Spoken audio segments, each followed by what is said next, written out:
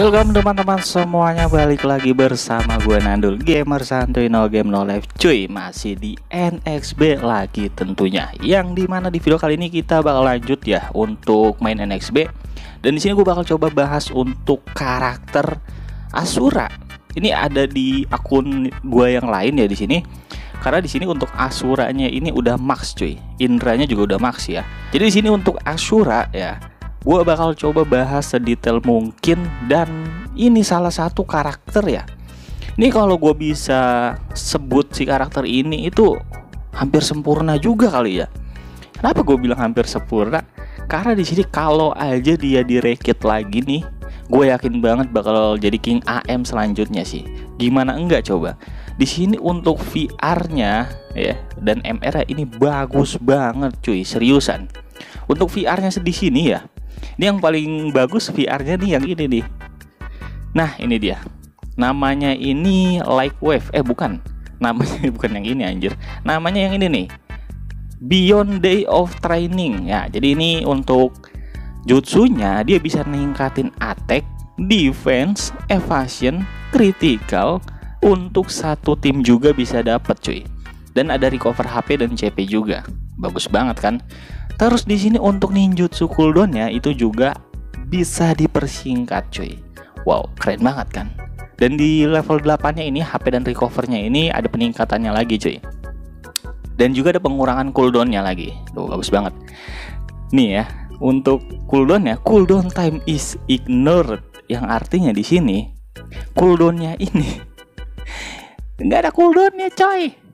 Bener banget nggak ada cooldownnya. Jadi kalau misalkan kalian pakai ini, VR yang ini buffnya dapat VR dan ER yang lain itu langsung tanpa cooldown. Langsung bisa di spam dipakai terus. Bener. Kecuali MR ya. Kalau MR dipakai terus auto dikira ngecheat cuy. Jadi cuma berlaku untuk VR dan ER nya aja. Terus VR nya yang ini yang ini juga cukup bagus sih walaupun di sini untuk jutsu yang ini gue bilang agak absurd juga ya. Soalnya numbuhin pohon cuy ini pohon cemara sih kayaknya ya. Iya pohon cemara gitu. Jadi numbuhin pohon dan dia bisa dapat buff lagi. Ini karakter yang ini si Asura ini bisa special buff juga sih menurut gue ya. Increase attack terus ada critical hit defense dan juga ada movement speed juga cuy dan ada recover HP dan CP juga tentunya. Gila nggak tuh? Dan bisa detect trap juga ya ini untuk si jutsunya dan ya untuk di level 8 nya ada peningkatan lagi untuk HP dan juga CP untuk ER sendiri ini udah plus 3 ya. Nah plus 3 ini kelebihannya apa sih? Nah plus 3 ini plus 30% damage skill tipe ya. Ada penurunan invisible 3 detik. Dan ya untuk special effectnya cuma kayak gini doang. Nggak ada lagi. Untuk CP nya tetap dapat. Tetap ada pengurangan maksudnya. Untuk di match ya kalau di match sih menurut gua agak kurang juga sih ini untuk ER cuman kalau udah plus 3 ini bagus banget. Terus untuk MR nya MR nya ini kalau gue bilang cukup oke okay juga sih. Kenapa? Karena di sini dia bisa get crash cuy. Bisa get crash Nanti gue bakal kasih lihat ya untuk gameplaynya. Dan juga di sini ada penurunan defense dan juga evasion buat musuh. Jadi udah pasti kena sih. Gue nggak tahu ya untuk rasionya tuh berapa evasionnya. Apakah 100%? Kayaknya nggak mungkin deh. Dan juga di sini ada invisible. Oh, bagus banget kan. Jadi kalau misalkan kalian pakai MR-nya auto dapat invisible. Dan juga di sini ada resist juga ya. Ini bagus banget. Dan ya, ini untuk jutsu MR ini cukup bagus cuy. Kalau aja di sini dia direkit, ini udah jadi sempurna banget.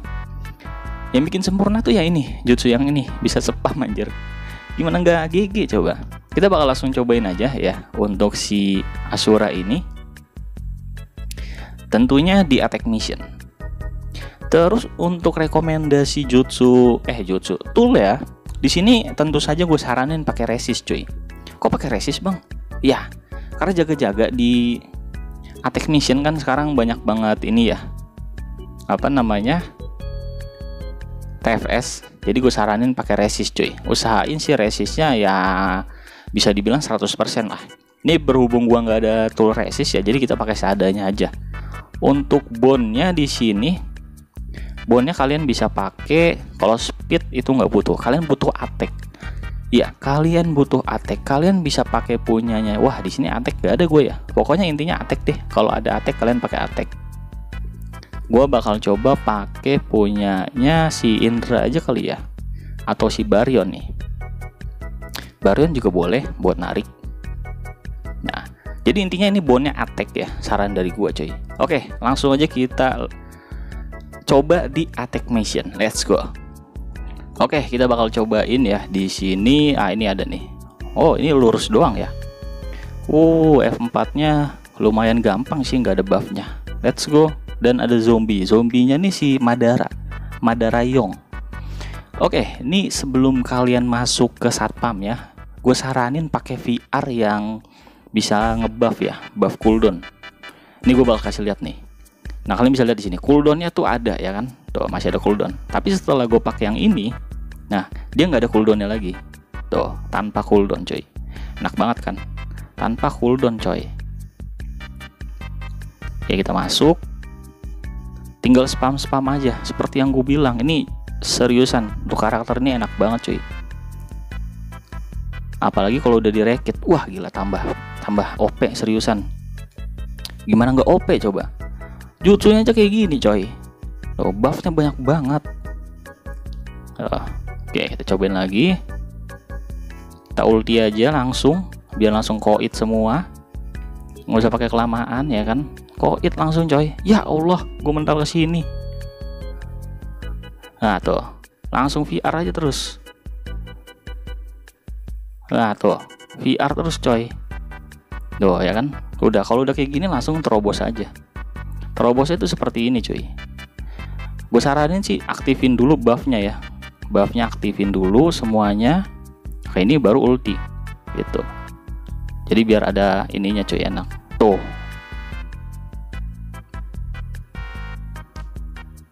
Langsung mati coy.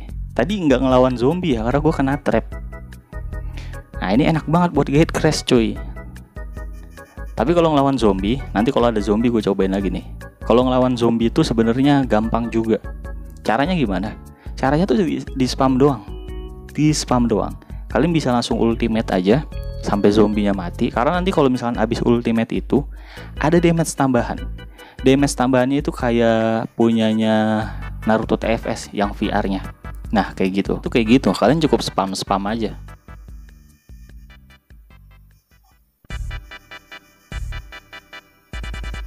Uh, untung gue nggak mental ya. Nah, sebelum kalian masuk tuh cooldownnya langsung hilang cuy. Tadinya lama kan, sekarang langsung hilang. Sebelum masuk ada baiknya pakai skill yang ini dulu. Nah, biar buffnya tuh dapat semua. Ini langsung aja ulti. Jadi langsung aja cuy ulti. Nah, ini tunggu sini. Nah tuh, kasih jutsu. Nah tuh, lu mau ke mana? kan langsung mati zombinya tuh gampang banget ngalahinnya coy gampang banget ngalahinnya. Nah tuh spam terus. Enak banget sebenarnya tuh. Oke ini kasih buff lagi spam lagi. Nah tadi lu matiin gue lu. Oke nice. Narhoknya mati. Sip